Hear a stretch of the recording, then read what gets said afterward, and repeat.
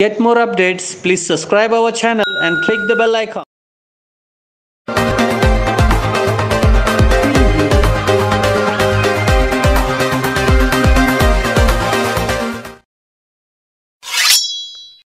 ಕಾಕತಿ ಗ್ರಾಮದಲ್ಲಿ ಜಿಲ್ಲಾ ಪಂಚಾಯತ್ ಮತ್ತು ಕೃಷಿ ಇಲಾಖೆ ಯೋಜನೆ ಅಡಿಯಲ್ಲಿ ಜಲಾನಯನ ಅಭಿವೃದ್ಧಿ ಹಾಗೂ ಬರಗಾಲ ತಡೆಗಟ್ಟುವಿಕೆ ಬಗ್ಗೆ ಬೀದಿ ನಾಟಕ ಪ್ರದರ್ಶನ ನಡೆಯಿತು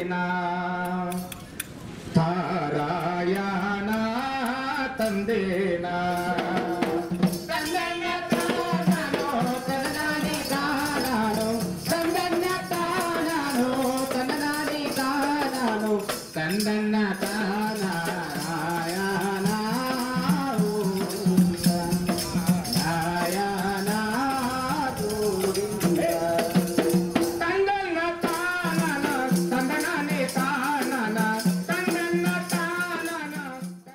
ಇಂದು ಕಾಕ್ತಿ ಗ್ರಾಮದಲ್ಲಿ ಜಿಲ್ಲಾ ಪಂಚಾಯತ್ ಬೆಳಗಾವಿ ಹಾಗೂ ಕೃಷಿ ಇಲಾಖೆ ಇವರ ಆಶ್ರಯದಲ್ಲಿ ಗದಗ ಜಿಲ್ಲೆ ರೋಣ ತಾಲೂಕಿನ ಕುತಬಾಳ್ ಗ್ರಾಮದ ಕಲಾ ತಂಡದಿಂದ ಬೀದಿ ನಾಟಕ ನಡೆಯಿತು.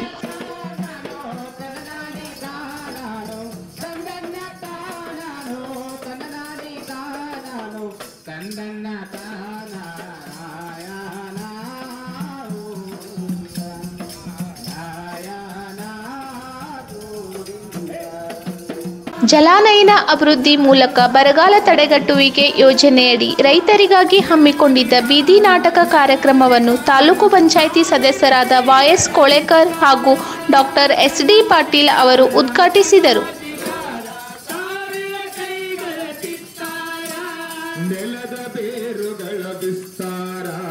ಪ್ರಜಾಪ್ರಭುತ್ವವೇ ಸಹಕಾರ. ಪ್ರಜಾಪ್ರಭುತ್ವದ ಸಹಕಾರ. ಚರಿತ್ರೆ ವಂಚಿತ ಜನ ಸಮುದಾಯದ ಅಂತಃಕರಣದ ಹರಿಕಾರ. ಜನ ಈ ಸಂದರ್ಭದಲ್ಲಿ ಕೃಷಿ ಇಲಾಖೆಯ ಪದಾಧಿಕಾರಿಗಳು ಸೇರಿದಂತೆ ಕಾಕ್ತಿ ಗ್ರಾಮದ ನಾಗರಿಕರು ಭಾಗಿಯಾಗಿದ್ದರು.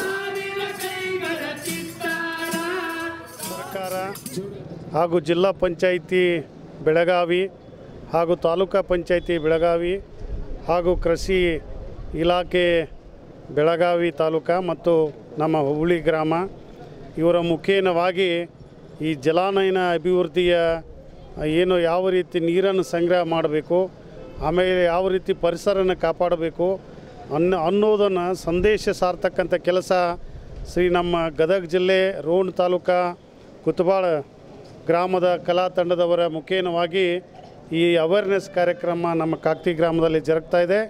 ಸದರಿ ಕಾರ್ಯಕ್ರಮಕ್ಕೆ ನಮ್ಮ ಉಳ್ವಿ ಮಟ್ಟದ ಶ್ರೀ ಕಾಪ್ಸೆ ಸರ್ ಅವರು, ಕೃಷಿ ಅಧಿಕಾರಿಗಳು, ರವಿ ಗುಡು, ಗುಡ್ಡಿಮಣಿ ಸರ್ ಅವರು ಕಬ್ಬೂರವರು ಆಮೇಲೆ ನಮ್ಮ ಡಾಕ್ಟರ್ ಎಸ್ ಡಿ ಪಾಟೀಲ್ ಅವರು, ಚೆನ್ನಪ್ಪ ಪುರಾಣಿಕ ಮಠ ಅವರು, ಉಳಿದ ಎಲ್ಲ ನನ್ನ ಸಹಪಾಠಿಗಳು, ತಾಯಂದಿರು ಎಲ್ಲರೂ ಉಪಸ್ಥಿತರಿದ್ದಾರೆ.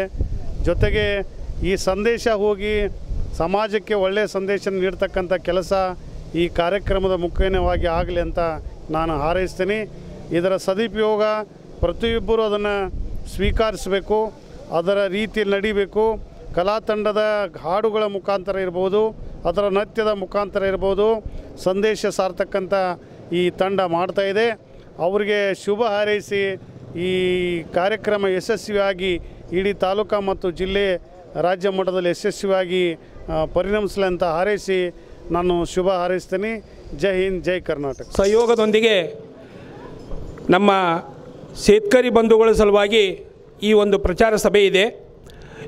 ಯಾವ ರೀತಿ ಮಳೆಗಾಲದಲ್ಲಿ ನೀರು ಹೋಗಿ ಹೊಳೆಗೆ ಕೂಡಬಾರ್ದು, ತಮ್ಮ ಜಮೀನಿನಲ್ಲಿ ಆ ನೀರು ಇಂಗಬೇಕಂತ ಹೇಳಿ ಅದರ ಮನವರಿಕೆ ಮಾಡಿಕೊಡುವಾಗಿ ನಮ್ಮ ಅಗ್ರಿಕಲ್ಚರ್ ಆಫೀಸರ್ ಅವರು ಬಂದಿರ್ತಾರೆ ಅವರಿಗೆ ನಾನು ಕಾಕ್ತಿ ಊರು ವತಿಯಿಂದ ಬಂದಂಥ ಎಲ್ಲ ಕಲಾ ತಂಡದಿಗೆ ಸ್ವಾಗತ ಕೋರಿ ಈ ಒಂದು ಕಾರ್ಯಕ್ರಮ ಅವರಿಗೆ ಸದಾ ಯಶಸ್ಸು ಸಿಗಲಿ ಅಂತೇಳಿ ತಾಯಿ ಚೆನ್ನಮ್ಮನ ಹಾಗೂ ಸಿದ್ದೇಶ್ವರ ಶ್ರೀಗಳಿಗೆ ಬೇಡಿಕೊಂಡು ಇದು ಸರ್ಕಾರದ ಕೆಲಸ.